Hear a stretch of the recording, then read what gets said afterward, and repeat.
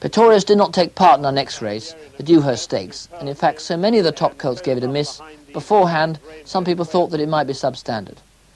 Only time will tell, but Superlative was there again, so was the impressive Newbury winner Rainbow Quest, French challenger Siberian Express, and, most significantly of all, Vincent O'Brien's only two-year-old raider of the season, El Gran Senor.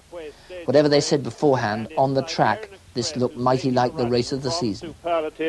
With El Gran Senor trying to get on terms with the leaders as they come now to the bushes.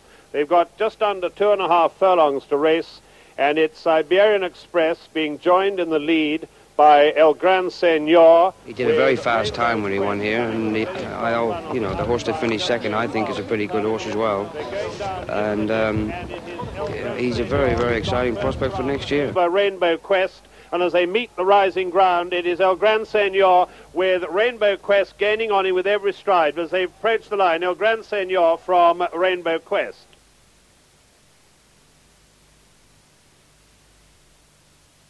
And this is a race when you've got to decide whether a horse's character is important.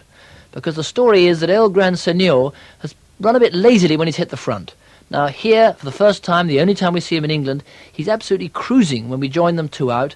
Admittedly, on the rail, Siberian Express, the French horse is too, but he clearly doesn't get home the seven furlongs. Superlative in the yellow sleeves, already under pressure, and Rainbow Quest coming to attack on the outside. He's already looks to be in more trouble than El Gran Senor. And in fact, at this stage, it looked as if El Gran Senor was going to go and win a minute. He was really going so sweetly. Perhaps he got in front a little bit soon because when Pat Eddery asks him, he puts a lot of daylight between himself and all the others, but not between himself and Rainbow Quest. And the question we have to ask is, are these two very good horses, or is El Gran Senor not as good as he promised to be?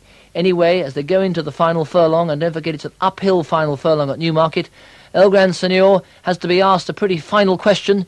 Rainbow Quest is the horse who's coming at him all the way to the wire. They duel, but it's a real battle. Why shouldn't it be? It's the most important two-year race in the calendar. They battle all the way to the wire, and this could be a dress rehearsal of the 2,000 guineas of 1984. First, El Gran Senor. Second, Rainbow Quest. Third, Siberian Express.